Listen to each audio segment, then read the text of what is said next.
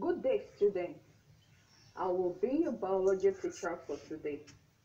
And our topic for today's lesson is practical on ecological instruments.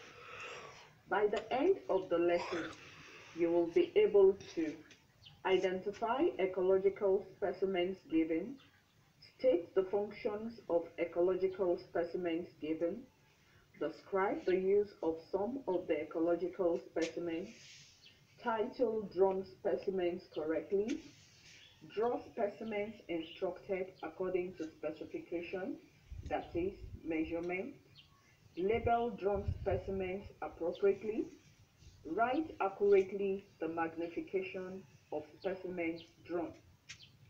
Practical on ecological instruments.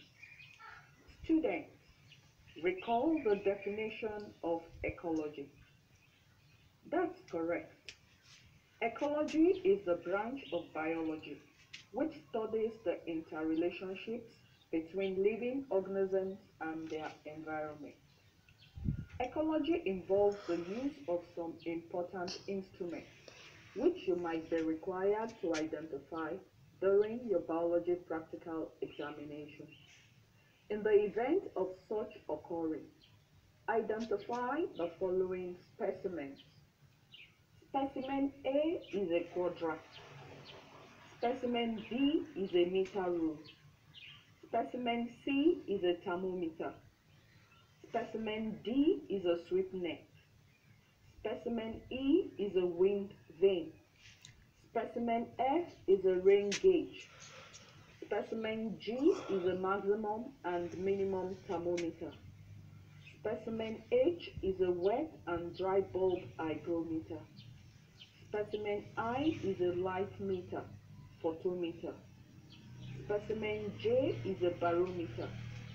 Specimen K is a pooter. Specimen L is an anemometer. What are the functions of the identified specimen? West African School Certificate Examination 2018-2019. Specimen A, quadrat, is used for population studies or is used to determine the population of small organisms or small plants or slow crawling insects within the restricted area. Specimen B, meter rule, is used to measure distance or depth of water or length. Specimen C, thermometer, is used to measure temperature. Specimen D, sweep net, is used to collect flying insects or a named flying insect. Example, butterfly, moth, etc. Specimen E, wind vane, is used to determine the direction of wind. Specimen F, rain gauge, is used to measure amount of rain or rainfall or precipitation. Specimen G, maximum and minimum thermometer, is used for recording the highest and lowest temperature of the day. Specimen H, wet and dry bulb hygrometer, is used to measure relative humidity of the atmosphere. Specimen I, light meter, photometer, is used to measure light intensity. Specimen J, barometer, is used to measure air pressure. Specimen K, pooter, is used to collect tiny invertebrates from leaves or crevices. Specimen L, anemometer, is used to measure the speed of wind. Description of the use of some specimens A, C, D, F, K. West African School Certificate Examination 2018-2019. Specimen A, quadrat. This is thrown randomly.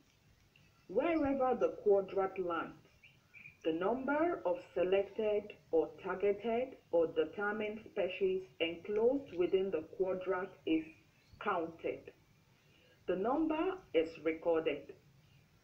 This procedure is repeated several times or at least 10 times. Average number of species per trough or toss is calculated.